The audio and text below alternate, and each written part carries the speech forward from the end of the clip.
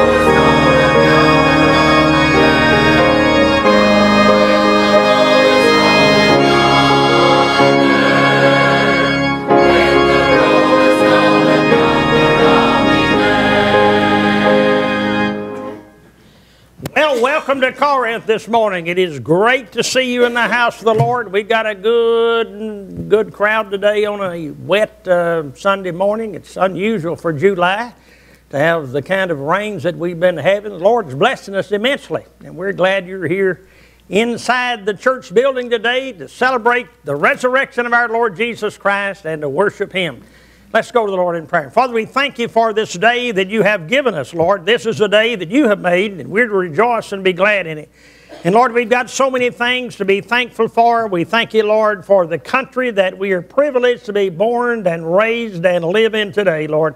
And we pray that you'll continue to bless the good old United States of America, Lord, and our president and everybody who has a part in leading and directing the affairs of this nation, Lord. We pray for those who are presently serving in our military.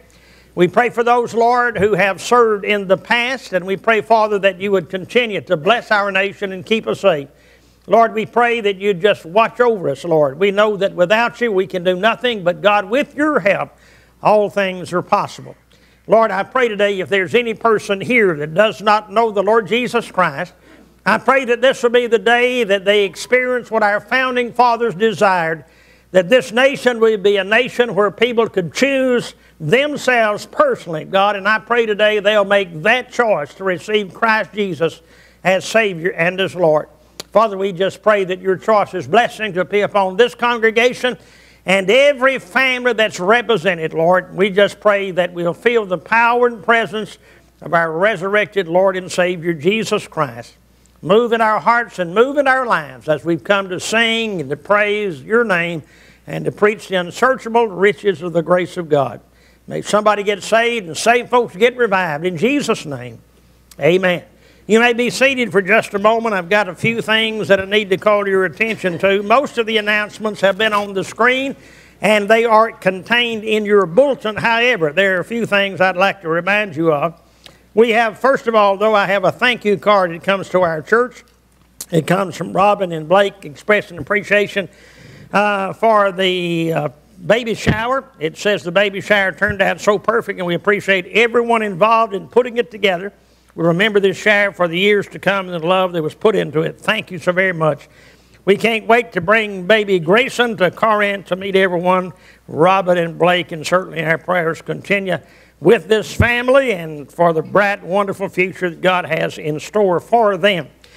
All right, let's see. Regarding announcements, 5 o'clock this afternoon will be our monthly deacons prayer meeting here at the church. If you have any object or concern, share it with any member of the deacon body. We'll be coming together this evening, 5 p.m., to go before the throne of grace in prayer. Tonight, 6 o'clock will be our Sunday evening worship service. On Wednesday evening, we used to meet at 6. The Awanas will meet at 6 o'clock. Actually, the bus is going to leave Wednesday evening. Uh, they're going to Mousetail Park, or Mouse, yeah, Mousetail Park, to Creek Stomp, S T O M P. That's what it says. I'm not sure what that is, but I think I did some of it when I was a kid. Uh, I think that simply means they're going to carry the kids over there where they can walk in the water and have a good time. I don't know how many of you were here last Wednesday night, but last Wednesday night we had a celebration of uh, Awana, our vacation Bible school. We tried to count them, but they wouldn't stand still long enough. They were wiggling everywhere. So, anyway, we don't really know how many folks we had. We had 225 hamburgers and hot dogs, and we had 352 snow cones that were consumed last Wednesday evening. Now, you can just figure that out any way you want to. There's somewhere between 250 and 300 people back here beside the building last Wednesday evening. It was an exciting time, and we give the Lord the glory and the praise for everything that was experienced, that it was a great time in the Lord. Okay, so this coming Wednesday evening, the Awanas or the bus will leave here uh, for the uh, park in Perry County at uh, 6 o'clock. Bus will leave at 6 o'clock. So if you've got children that want us, be sure you get them here a little bit before 6 o'clock for this coming Wednesday evening. Uh, also, Wednesday evening will be Bible study and business meeting in the sanctuary at 7 o'clock. Now, revival is one week away. Where has this year gone? We're back to revival meeting time.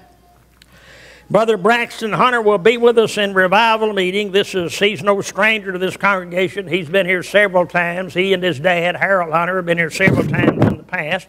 And we have some flyers regarding the revival meeting. They're on the table as you leave from the vestibule. There's full uh, pages and there's half pages. And anyway, we'd like for you to help us uh, advertise revival meeting. Uh, give one of these flyers to your neighbors and friends and invite them.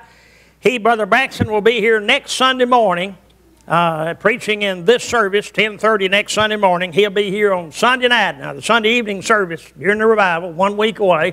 Sunday night will be at 7 o'clock, okay? We'll do things a little bit different, not 6, but at 7 o'clock. And then Monday through Friday, he will be here at 11 in the morning and 7 p.m. each evening. So we're looking forward to this great time of revival meeting. The meals list is on the bulletin board. If you'd like to sign up, be a part of that, the list is over there. Dr. Braxton Hunter is the president of Trinity College of the Bible, and he's also president of Trinity Theological Seminary, which has one of the largest enrollments of any seminary in the United States. And we're delighted and thankful that God has uh, made available the time scheduled for him to be with us the week of July the 14th through the 19th, Sunday morning through Friday night, and uh, that's just a week away. So, anyway, we, uh, we look forward to that. Remember to pray for the revival meeting and pray that God will give us souls for the labor and that we'll truly be revived in the Lord. Okay? Hope you had a wonderful 4th of July event this past week. It's been a great week, and we had a great parade and great event in Washington, D.C., and when I was able to watch it, uh, I came away from that experience proud to be an American. Amen. All right, we will continue the song service.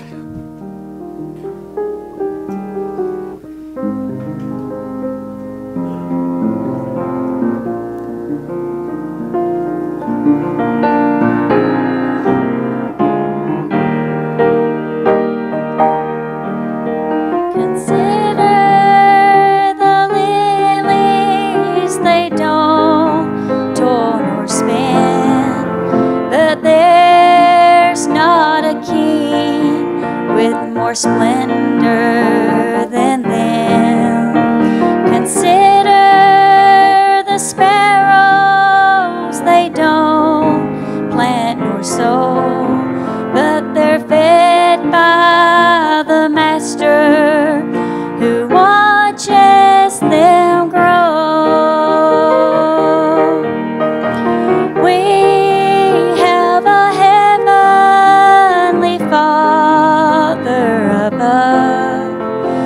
With eyes full of mercy and a heart full of love. He really cares when your head is bowed low. Consider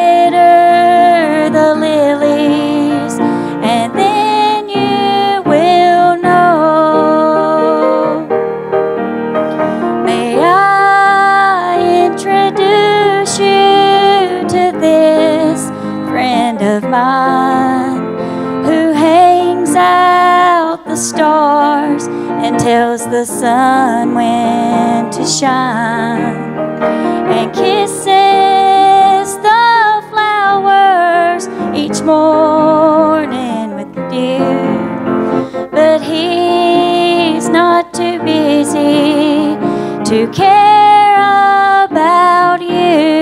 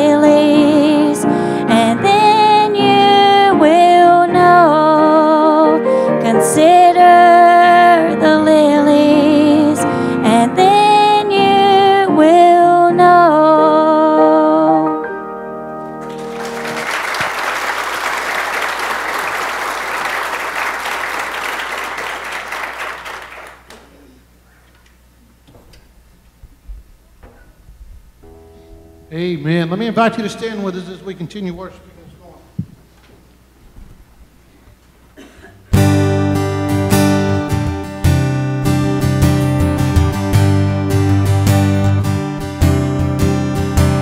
Oh, I've heard thousand stories of what they think you're like, but I've heard tender whispers of love in dead of night, and you tell me that you're pleased and that I'm never alone. You're a good, good Father. To you are, to you are, to you are, and I'm loved by you. To I am, to I am, to I am. Oh, I've seen many searching for answers far and wide, but I know we're all searching for answers. Only you provide, cause you know just what we need before we say a word. You're a good, good Father. To you are, to you are, to you are, and I'm loved by you. To I am, to I am, to I am. Sing that. You are perfect in all of your ways. You are perfect in all of your ways. You are perfect in all of your ways. You are perfect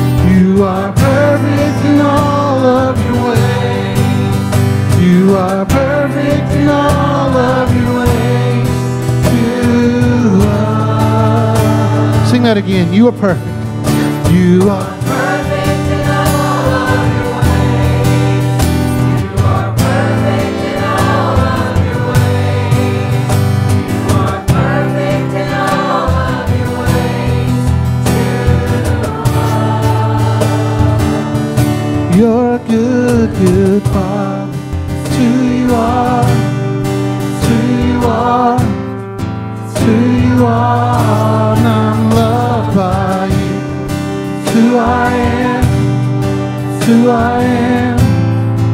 Who I am. Sing that chorus again. You're a good, good father. Good, good father. It's who you are. It's who you are who you are, I'm loved by you. It's who I am, it's who I am, it's who I am.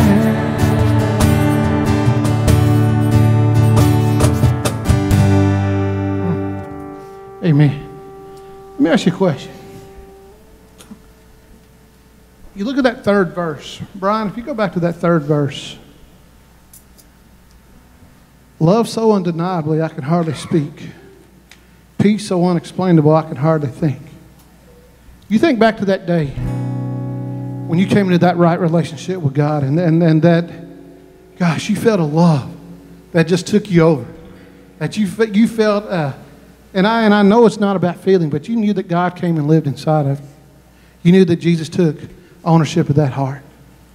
Man, I don't know about y'all. It was, it was takes your breath away to think about that. So I want to ask for a moment. Anybody want to share? Maybe about that time that you came to know Jesus as your Lord and Savior? You know, for me, I'm going to be honest. I was in a music pastor's uh, house. I'd already traveled around the country with a group playing trumpet. Didn't know Jesus, Christian organization. But boy, God just spoke to me that day. So what about somebody else? How's a good, good father came to you?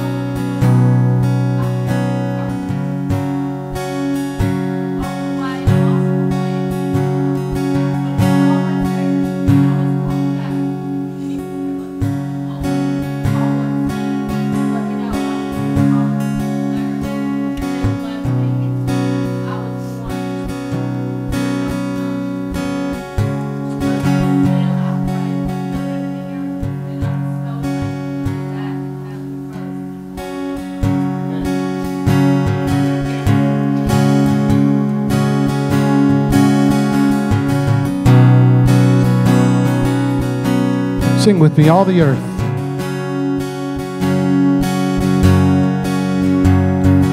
All the earth will shout your, our hearts will cry, these bones will.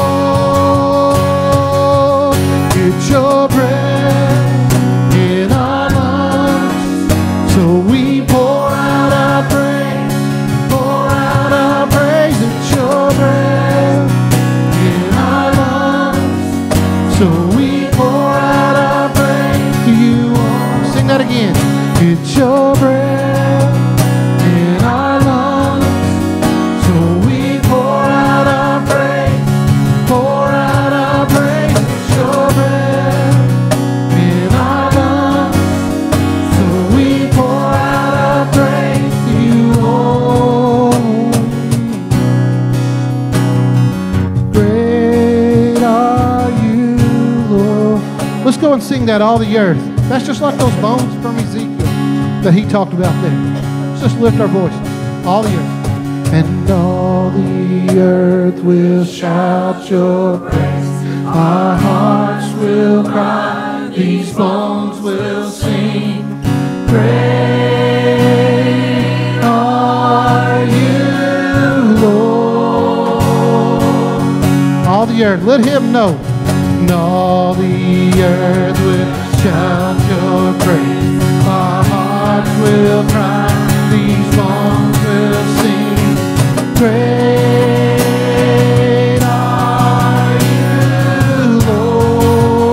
Let's lift our voices and just honor him for being great. All the earth will shout your praise. Our hearts will cry, these bones will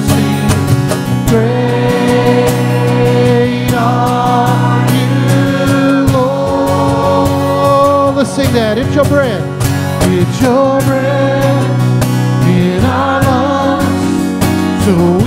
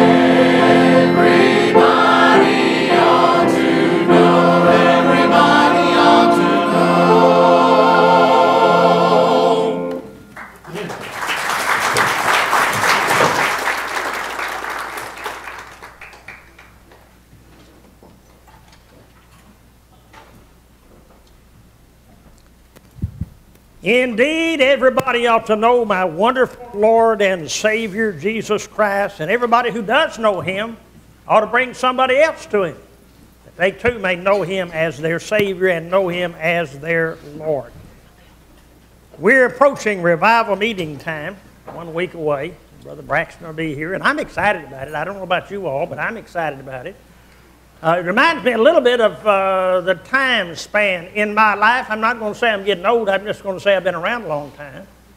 His dad and I were neighbor pastors in McMinnville, Tennessee, back in the uh, early 70s, and we've remained good friends ever since then. So I'm working with second generation preachers. Uh, which uh, reminds me, I had a wedding not long ago, and I had third generation in that family wedding. So I must have been around a long time. You know what I mean? Uh, so I'm looking forward to it. We are very excited uh, at what God is going to be doing. So I want you to get your Bibles today and turn me in the book of Mark, chapter 9. Book of Mark, chapter 9. One of my favorite chapters. In fact, I've got a whole lot of favorite chapters. All of my chapters in the Bible are my favorite chapters. But among my favorite chapters in the Bible, I love this one. It begins with the transfiguration of our Lord Jesus Christ. And Jesus took Peter, James, and John and went up to the mountainside and was transfigured before them. And boy, they were having a great time. It was good. I mean, it was good. But at the same time that Peter, James, and John were experiencing the mountain transfiguration experience of Jesus at the bottom of the hill, there was a poor, disappointed father, a dema- demoniac child, a demon possessed child, and a group of nine disciples that had been left behind, and they were not experiencing what Peter, James, and John were experiencing on the mountaintop. They were experiencing an embarrassing defeat because they had tried to heal this demon possessed child and they could not. So let's pick up, if we may, today with the 14th verse of Mark's Gospel, chapter 9, beginning in verse 14. And when Jesus came to his disciples, he saw a great multitude about them, and the scribes questioning with them. And straightway all the people, when they beheld him, were greatly amazed, and running to Jesus, they saluted Jesus. And he asked the scribes, What question ye with them? And one of the multitude answered and said, Master, I have brought unto thee my son, which hath a dumb spirit, and wheresoever he taketh him, he teareth him, and he foameth and gnasheth with his teeth, and pineth away. And I spake to thy disciples that they should cast him out, and they could not. And Jesus answered him and saith, O faithless generation, how long shall I be with you? How long shall I suffer you? Bring him unto me. And they brought the young man, brought the child unto Jesus. And when he saw him, straightway the Spirit tare him, and the young man fell on the ground, and he wallowed foaming. And Jesus asked his father, How long is it ago since this came unto him? And he said, Of a child. And oftentimes it hath cast him into the fire and into the water to destroy him. But if thou canst do anything, have compassion on us and help us. And Jesus said unto him, If thou canst believe, all things are possible unto him that believeth. And straightway the father of the child cried out and said with tears, Lord, I believe, help thou mine unbelief. And when Jesus saw that the people came running together, he rebuked the foul spirit, saying unto him, Thou dumb and deaf spirit, I charge thee, come out of him and enter no more into him. And the spirit cried and rent him sore and came out of him, and he was as one dead, insomuch that many said, He's dead. But Jesus took him by the hand. Jesus took him by the hand and lifted him up, and this young man arose. Look at verse 28. And when he was coming to the house, his disciples asked him privately, Why could not we cast him out? And Jesus said unto them, This kind, this kind, this kind can come forward by nothing but by prayer and by fasting. As I mentioned in the beginning, this is a tremendous chapter. It begins with the transfiguration experience of the Lord Jesus Christ, and he carries Peter, James, and John up on the mountainside, and before their very eyes, the raiment of Jesus became white and glistening. And during the course of that mountaintop experience of Jesus and the disciples, Moses and Elijah came down. After all, Jesus had told them prior to that experience, He said, There are some of you that are standing right here that shall not taste of death until you see the Son of Man coming in power and in great glory. Now you say all the disciples are dead. You're right. But he said there's some standing here that shall not die until they see the Son of Man coming in power and great glory. Well, give me some explanation. I'll give you the explanation. The Bible says that after six days, six days after Jesus made that statement, that some of you are standing here that will not die until you see the Son of Man coming in power and great glory. Six days later, he carries Peter, James, and John up on the mountaintop and has this wonderful experience, and Moses and Elijah comes down.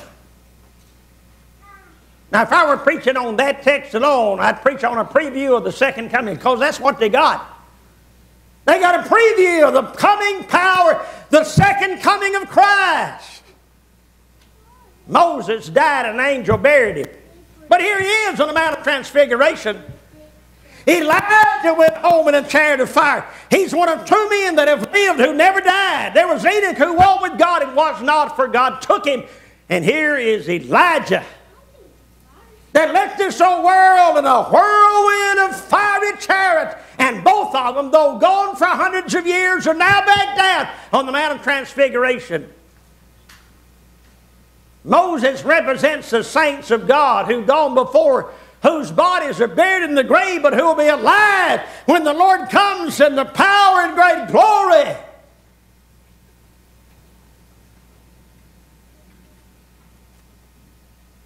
I'm telling you, folks, we have a preview of the second coming. Now, it was good. I mean, Sundays were good. That was a good experience. It got so good that Peter, James, and John stood there with their mouths wide open and they said, Lord, let's just build us three tabernacles.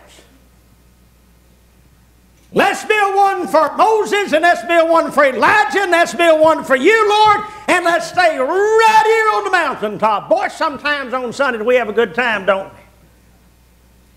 I don't know about you, but there are just times out here at Corinth when I get a little foregleam of glory.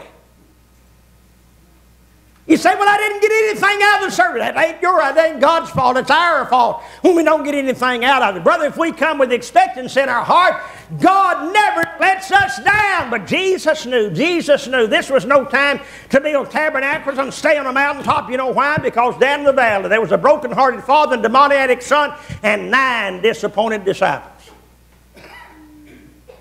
And we have a good time singing the praises of the Lord in the house of God. We have a good time reading the Scripture, and I love preaching the Word of God. I'd rather preach than eat. It's a God given gift. Got a friend of mine, he claims to have the gift of tongues. He's supposed to be able to speak in some kind of unidentifiable language, and we were out one day and he was bragging about his gift of tongues, and I said, Well, speak it right now. He said, Well, I can't right now. I said, Well, I've got a gift of preaching. You want to hear me right now? I'll preach for you. This is good. This is good. But Jesus knew that we're not to stay inside our sanctuary. There is a waiting world out there. And in that world, there's some hurting souls. And Jesus knew at the foot of that mountain there was a broken hearted father and a demoniac son and nine defeated disciples. And so when Jesus comes down from the mountainside, evidently there's a glow and a radiance that was still about him. And even the scribes came and they wrapped him up. The crowd came and got all around Jesus. And they were talking to the disciples. And Jesus said, What question ye? And one of the multitude answered and said, Master, I brought unto thee my son, which hath a dumb spirit, and wheresoever he taketh him, he teareth him, and he foameth and gnasheth with his teeth, and pineth away. And I spake to thy disciples that they should cast him out, and they could not. There was one father in the middle of that crowd. He came running up and he said, Lord, I've got a son. He's a mess.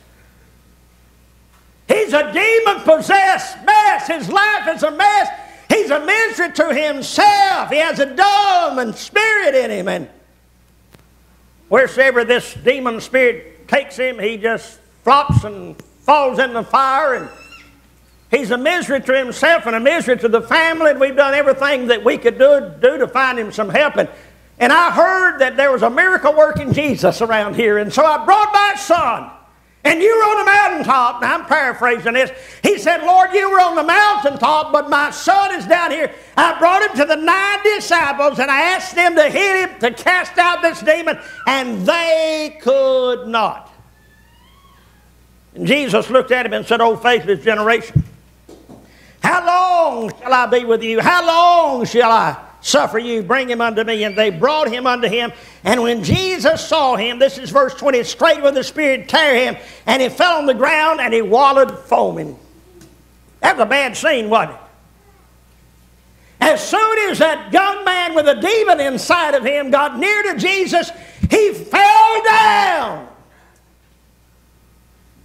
I can only imagine what it would have been like. I had a grandfather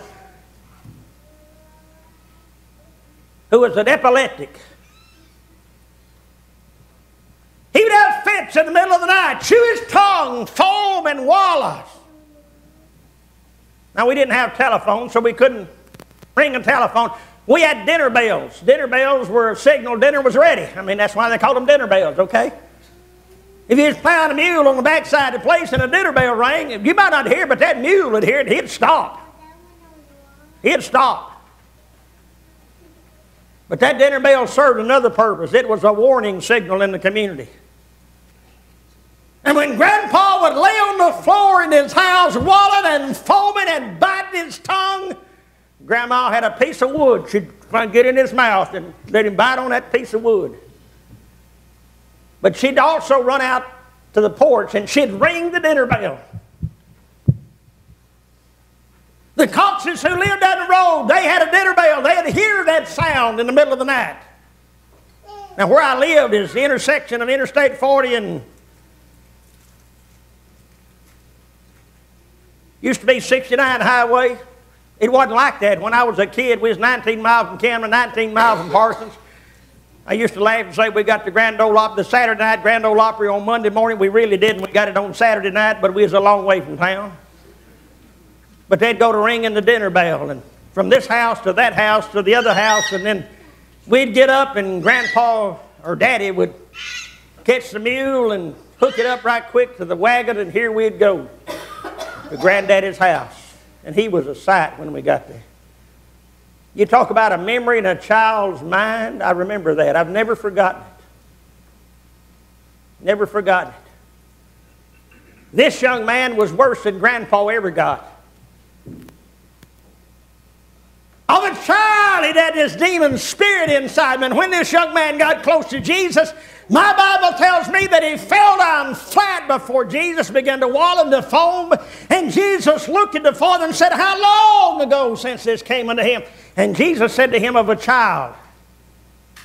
And oftentimes it has cast him in the fire and in the water and destroy him. But if thou, if thou canst do anything, have compassion on us and help us. You know, there's a prayer God always answers. You know what it is? A sincere cry for help. His father said, Lord, if thou canst, will you help us? And I love the response that Jesus gives. Verse 23, Jesus said, If thou canst believe, if you can believe all things, I said A-double-L, all. You know what all means? All means all. Don't tell me you don't understand the Bible. All means all. It means all in any language, in every language. It means all in the dictionary. It means all on Sunday, Monday, Tuesday, Wednesday, Thursday, and Friday. It means all on the holidays. It means all. If thou canst believe, all things are possible to him that believeth. Now, you talk about an impossible condition. A demon possessed child wallowing on the ground, falling in the fire, falling in the water. This dad and this mother could not keep, take their eyes off of this child day nor night. But Jesus said, If thou canst believe, all things are possible to him that believeth. And straightway the father the child cried out and said with tears, Lord, I believe, help thou mine unbelief. And when Jesus saw the people that came running together, he rebuked the foul spirit, saying unto him, Thou dumb and deaf spirit, I charge thee, come out of him and enter no more into him. And when Jesus commanded the demon spirit to come out of this child, the child fell on the ground and was as lifeless as he could be. He quit shaking, he quit foaming, he quit jerking. He just fell down. Totally relaxed. The crowd that always followed him in, round.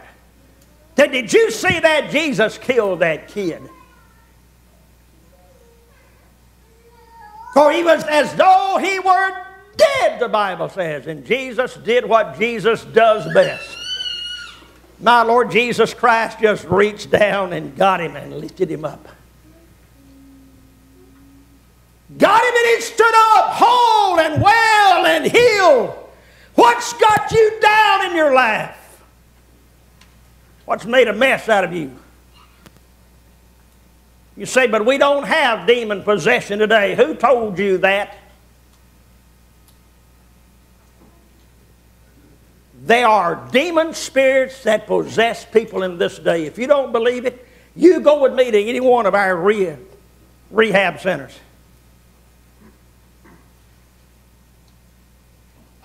You'll find people there who have life controlling problems the spirit of alcohol, the spirit of drugs, the spirit of pornography.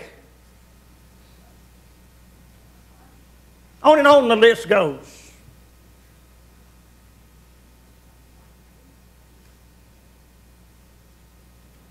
We got a lot of problem in this country. You know what it's called? Sin. S I N, sin.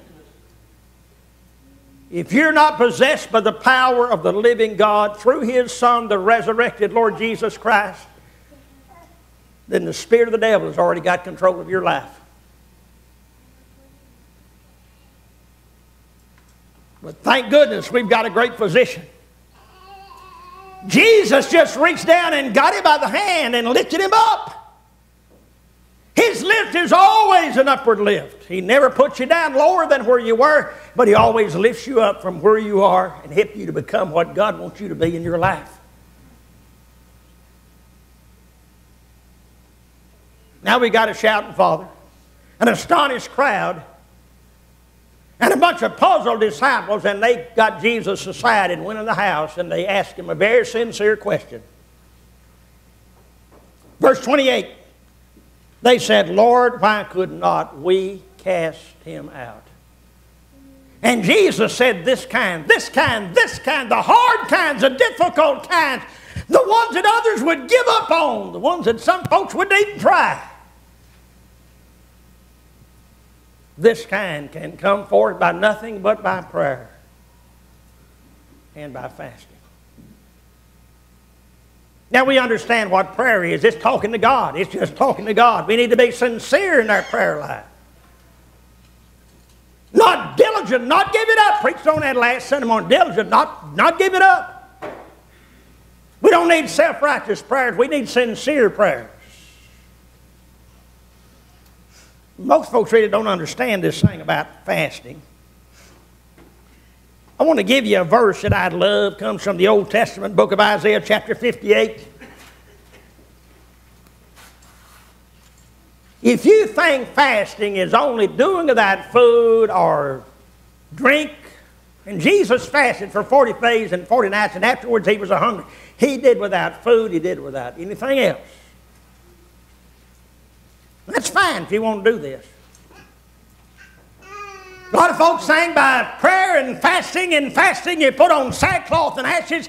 They put on sackcloth and ashes as a sign of their repentance. It may surprise you what God says that He's pleased with when it comes to the matter of fasting. That's why I'm carrying you to Isaiah chapter 58. Isaiah chapter 58. Look at verse 3. Isaiah 58, verse 3. Wherefore have we fasted, say they, and thou seest not? Wherefore have we afflicted our souls, and thou takest no knowledge? Behold, in the day of your fast you find pleasure and exact all your labors. Behold, you fast for strife and debate.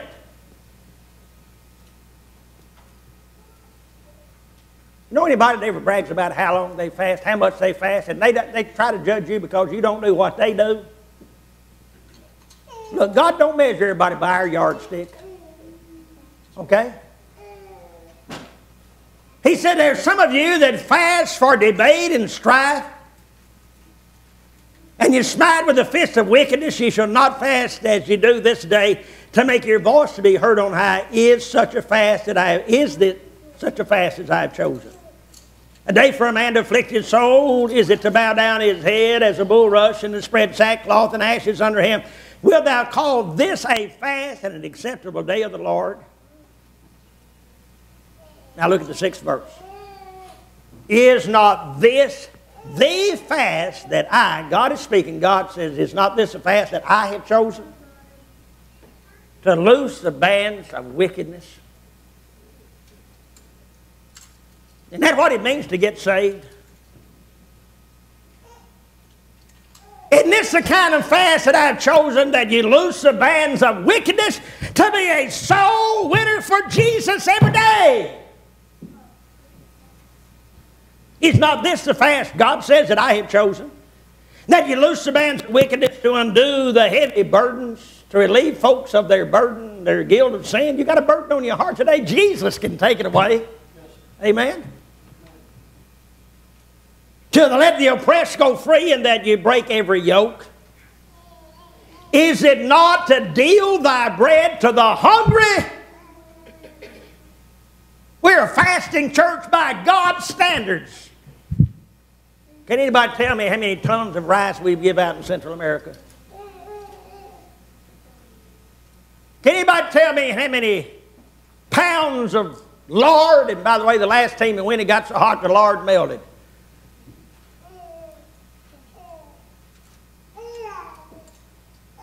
Now, we may not have a public time when we do without food. We don't look like we've done that much. But I don't know a more fasting church than Corinth Baptist Church. By Bible standards now, that's how to measure things, by what the Bible says. Is it not, is this not the, the kind of fast that I have chosen, God? To deal thy bread to the hungry, that thou bring the poor that are cast out to thy house, and when thou seest the naked that thou cover him, and they hide not yourself from your own family. That reminds me of what comes verse 10 after verses 8 and 9, Ephesians 2. Now we love to talk about Ephesians 2, 8 and 9. For by grace are you saved through faith, and that not of yourselves, it is a gift of God, it is not of works, lest any man should boast. And verse 10 says, But you're his workmanship. Created unto Christ Jesus for good works you're saved by grace through faith, but you prove that you say that you're saved as you fast and serve others in that fasting. Now, what's that got to do with revival meeting? You're all fired up about revival. We just come out the 4th of July. We had a good one. I was so proud of our president and what he did the other night. I don't know about you, honey. I got a refresher course in American history. It was good. It was good. You say, well, it cost two million extra dollars. Yeah, and it cost thirty million for the same park service as complaining to celebrate an anniversary recently. So it was pale in comparison.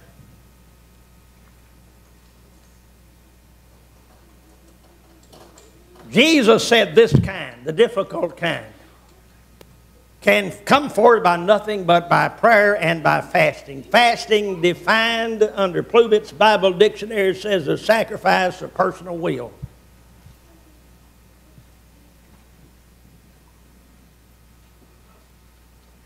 Giving up your own personal for God's choice. Your own personal will for His will. They said, Lord, we don't understand this.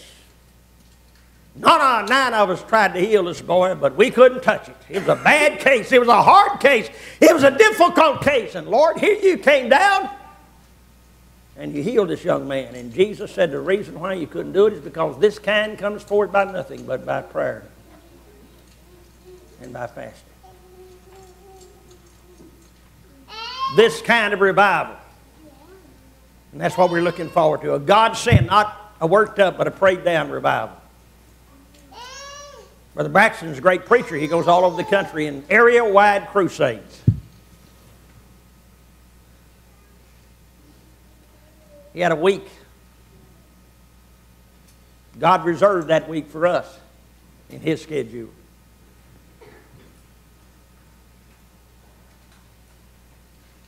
This kind of revival comes by prayer and by fasting. This kind of church comes by prayer and by fasting. We pray about things and we get busy doing things. I love it. I love it. I love it. This kind of convert. There's somebody in your family, somebody in your life that's hard to reach. I remember Teeny Reeves. Now, his family at that time didn't go to Corinth. His wife and children went to Darden Baptist Church. But later on, they came and joined Corinth Baptist Church, and for a number of their last years, probably 10, 15 years of their life, they were members here at Corinth. Faithful members.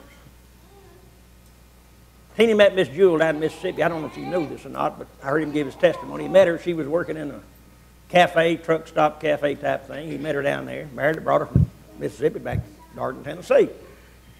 I don't remember. I think they had when they four boys and two girls. Anyway, on the Sundays whenever we'd have Mother's Day and we'd have the most children and all that, you know, it was it pretty well she pretty well got the flyer every time. You know what I mean? But Brother Teeny wouldn't go to church with him. He drove a truck. He was too busy to go to church. She prayed. She prayed and fasted. She prayed and kept carrying the kids to church. She prayed and prayed and prayed and prayed. And I've heard Brother Teeny give his testimony that one day he was driving a truck, hauling gravel, prayer and fasting.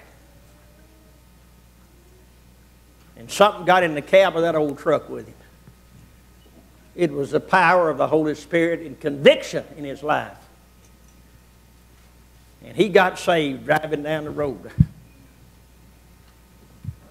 Pulled into Darden, pulled over the side of the road and ran. They always had this nice garden between the house and the road down here. He jumped out of his truck, ran through the middle of the garden, I'm saved, I'm saved, I'm saved, I'm saved.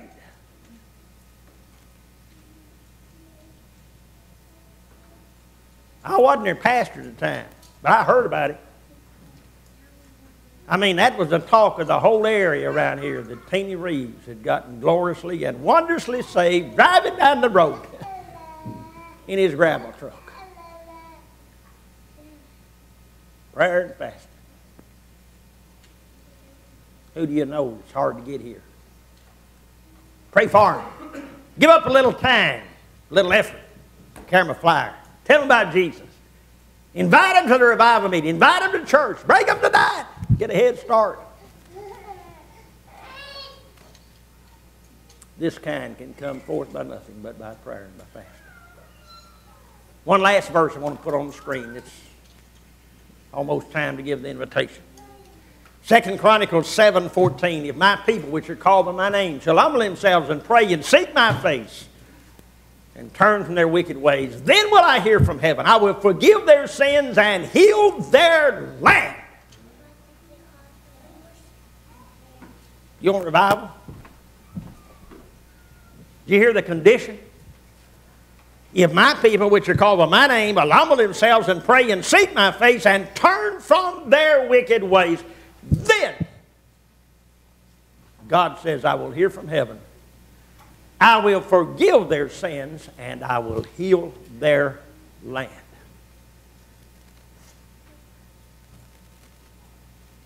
Is that what you want? Is that what you really desire? If it is, we can have it. God's already made the promise. He put the conditions before us. It's left up to us now to pray it down. Every head bowed, every eye closed for just a moment. Lord, we know that if you could handle the case of the demoniac son, a demon possessed young man who fell in the water, fell in the fire, and wallowed foaming, if you could handle his case, you can handle ours, Lord. We're not in that bad a physical shape, but Lord, there may be somebody here today, while not possessed by the kind of demon spirit that was in this young man, yet, Lord, they're controlled by some kind of demon spirit that tells them they've got plenty of time.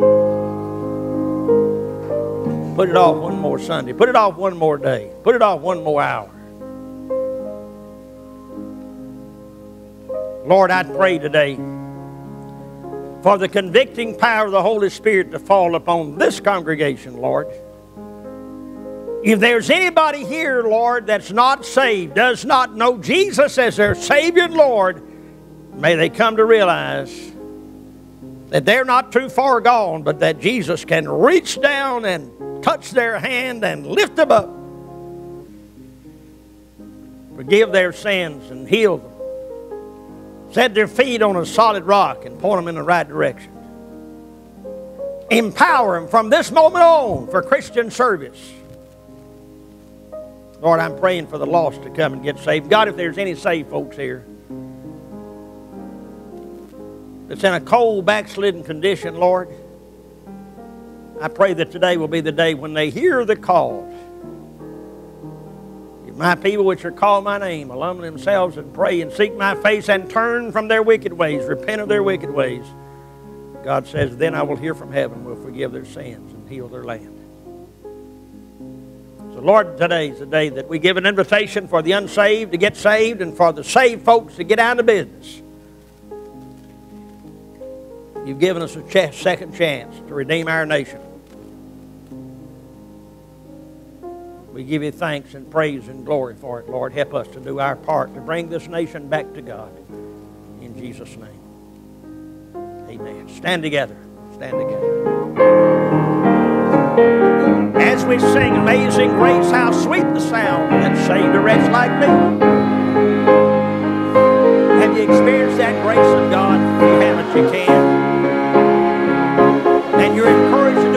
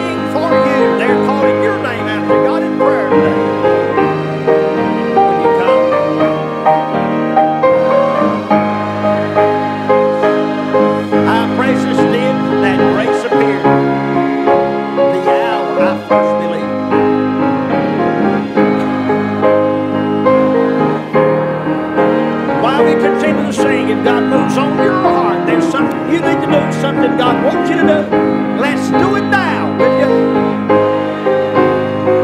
Let's do it now. Your eternal future, the future of your family could very well rest upon the decision you make today to follow Jesus as Savior.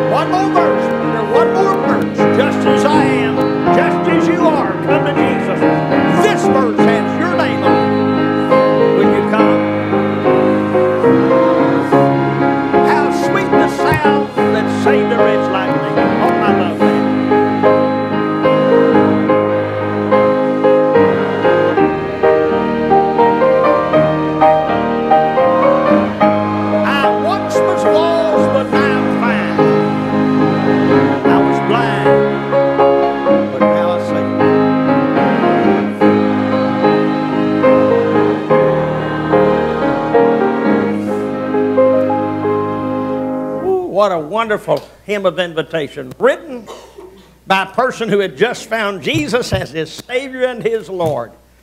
I was blind when I was see, I was lost, but I've been found. Is that your testimony? If it isn't, it can be before you leave here today. The official public invitation, the singing, has come to an end. Okay? But the invitation is still out there. If you're lost, please don't leave this building until you come to the Lord Jesus Christ and receive Him as Savior and as Lord. I do a lot of funerals. The next one may have your name on it. If you die lost. No, by the way, you've got a 50 50 chance of living through the day. Did you know that? If you die lost, you will have sealed your doom for all time and all eternity. Don't take the chance. You're dismissed unless you're not saved. If you ain't saved, hang around. Okay, let's pray.